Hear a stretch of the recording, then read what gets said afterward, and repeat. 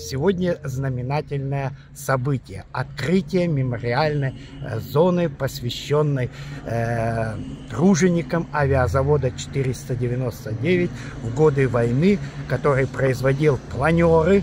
Э, это был один из самых крупнейших заводов нашей стране. Практически каждый второй планер который э, был произведен в годы Великой Отечественной войны в нашей стране, взлетел с нашей Заводуковской земли. Именно э, вот этот планер А7 э, имел наибольший выпуск э, на заводе 499.